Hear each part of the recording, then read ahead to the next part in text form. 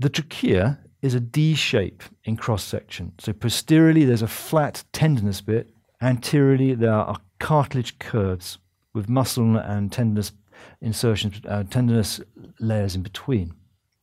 It's about 11 centimeters long, a couple of centimeters in diameter. It runs from the larynx right down to about the level of about fourth or fifth thoracic vertebrae, where it divides into the right and to the left main bronchi. And that division is called the carina.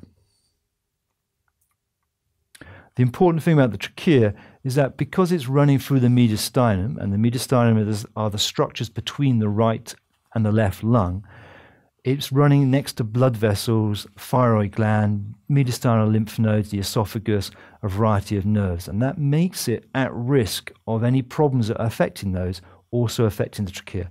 So, for example, it's not uncommon for a very large mediastinal nodes to cause obstruction, partially of the trachea. After the trachea, you have the bronchi dividing into the right and the left lung. And the, and the lungs themselves are very elastic, sponge like material consisting of very large numbers of alveoli. The right lung is slightly larger than the left lung.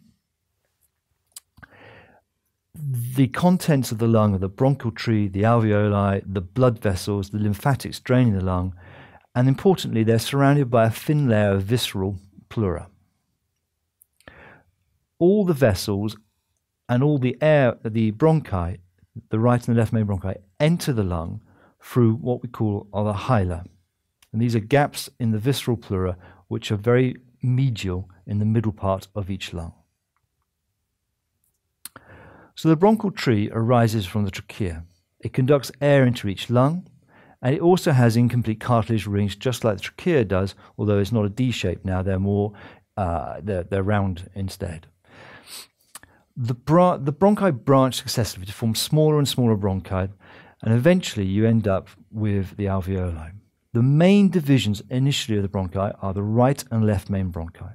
The left main bronchi then divides into a left upper bronchus and a left lower bronchus.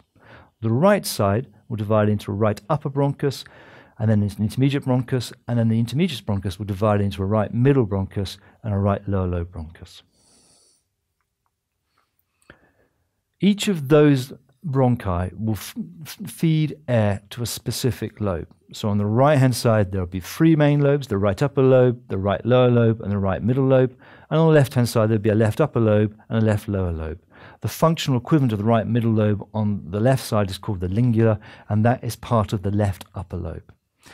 And these lobes are divided by invaginations of the visceral pleura into the lung, and they form fissures. The main one being the oblique fissure, which is between the upper lobes and the lower lobe, with on the right hand side being a, an additional fissure called the horizontal fissure, which divides the upper lobe from the middle lobe. The bronchi, once they reach one lobe of the lung, will then divide, and there are segments for each lobe. I'm not going to go into these in detail because it's we don't need to know precisely each segment. But here's a diagram showing each of the segments are, are, are, present. And as you can see, they vary in number depending on which lobe we're talking about. The smaller lobes, such as the right middle lobe, only having two segments, and the larger lobes, such as the lower lobe, having uh, five or four or five segments. And each of those segments has an individual bronchus feeding into it. And accompanying that bronchus, there's an individual pulmonary artery, a pulmonary vein, and there'll be draining lymph nodes as well. The bronchi divide further and further in each segment, becoming tertiary bronchi and then small uh, conducting air vessels called respiratory bronchioles, and these eventually become terminal bronchioles. And one terminal bronchiole will feed one gas exchange unit called an air anastomus. And that gas exchange unit will consist of alveoli, which are like small balloon like objects opening off the terminal bronchiole and the alveolar ducts to form a cluster of uh, air-filled sacs at the end of each bronchiole. This is the business end of the lung. This is where gas exchange occurs. The important thing about the alveoli is that they are closely opposed to pulmonary capillaries. So each alveolus will have a lot of blood vessels, capillary blood vessels, surrounding it, and therefore oxygen can move in to the blood vessels from the alveoli relatively easily.